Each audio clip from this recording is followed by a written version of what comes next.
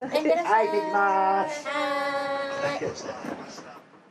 毎朝9時ごろいつものように夫を仕事に送り出します。愛知県豊橋市に住む藤本澄子さん57歳力は負けるじゃん。今は週に3日いとこの安間さんが家の手伝いに来ます。そこで欠かさず行うのが。今日は何日？えー、わ、記憶の確認です日付を聞いても何月ですか？えー、っと、六月、令和六年の。令和六年の、はい。うん。それで、えっ、と今日は？今日は？八令和月。六年の八月？八月か。うん。うん。ここは愛知県？愛知県の何市？愛知県だ。蒲郡市じゃなくて。蒲郡市か。蒲郡の隣は何だっけ？蒲郡の隣は愛知県。愛知県の、うん。愛知県のそう。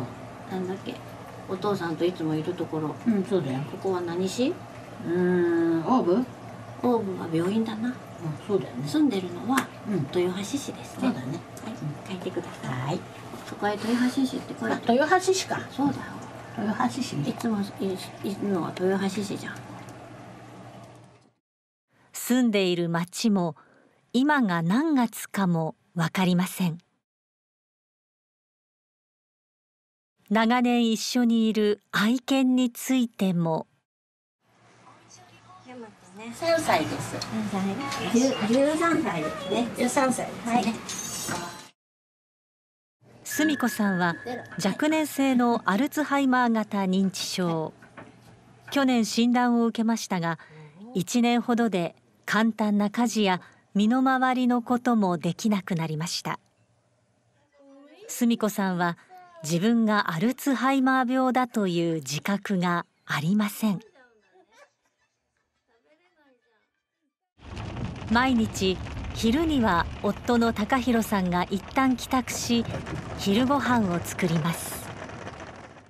進行は少し早かったんですか？やっぱりね若年性だもんで早いんじゃないかな。うん早いなやっぱり。悲しくなるよ。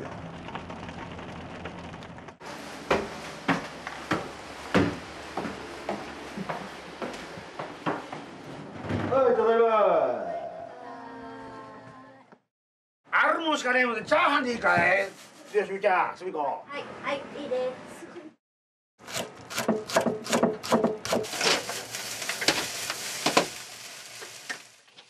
澄子さん得意だった料理も今はできません。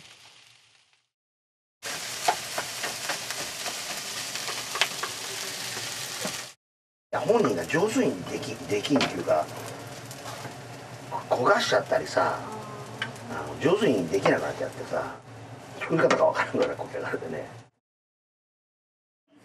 はい出来上がりうん。うまいか。食器洗いは澄子さんの役割ですが。終わった？本当に？すみちゃんこれ洗ってないじゃんお前。これ。これ。全然洗ってないじゃんこれやろうか？大丈夫だよ。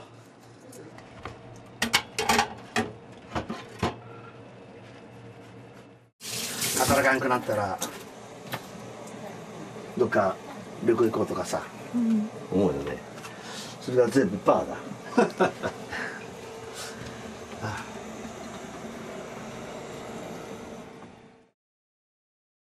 澄美子さんが若年性アルツハイマーと診断されたのは56歳だった去年6月。23年前から物忘れなどの症状があり夫の勧めで病院を受診しました。まあまあうんか助けてやりてえなって思って。今夫婦は最新の治療薬に望みをかけています新薬のレカネマブ。アルツハイマー型認知症は脳内に異常なタンパク質アミロイド β が蓄積されそれが神経細胞を破壊することで認知機能が失われていきます。レカネマブは原因物質であるアミロイド β を取り除く効果が確認された世界で初めての薬です。愛知県大府市の国立長寿医療研究センター。ここではおよそ30人のアルツハイマー患者がレカネマブによる治療を受けています。2週間に1回の点滴での投与が1年半続きます。少しでも頭が元に戻りますようにと。最新の治療だから、の すがってみました。私自分がやろうと思って老廃物を流すとかそういうのがちょっともうちょっと早くできたらいいかな。原因に対してですね直接、えー、働きかけるという意味では大変期待が持てます。大体7ヶ月ぐらい遅くするんじゃないかっていうような推測がされてますね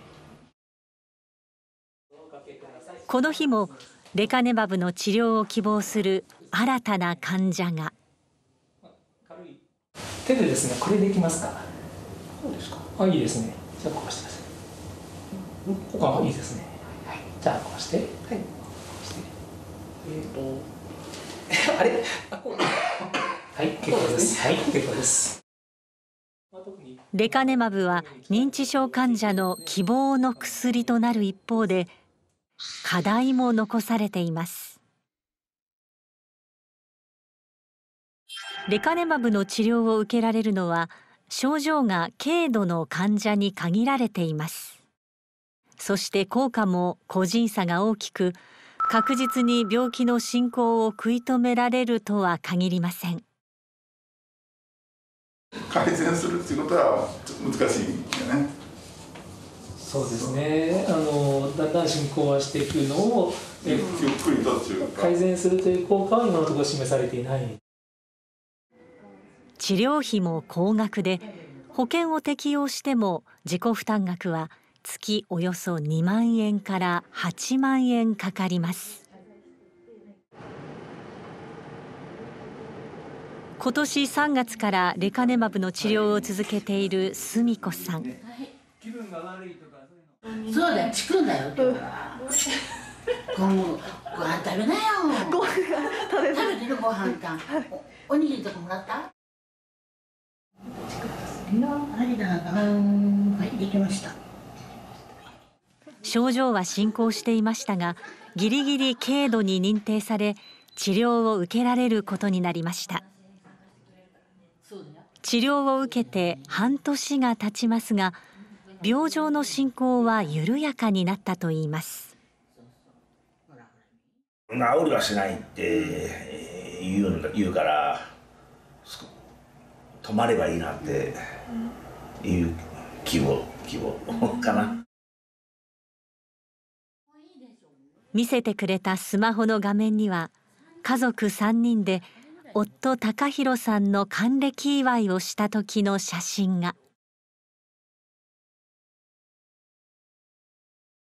いい人だよ。めちゃくちゃお父さんはね。お父さんがいなきゃ何もできない。この先どうなるか分かんないんだけども、うん、面倒見きれんくなったら俺一人ぼっちになっちゃうじゃない、うん、えー、それは嫌だなって、えー、思うよ。だから、うん、うん、こんなんでもまだおってくれた方がありがたい、失われていく記憶。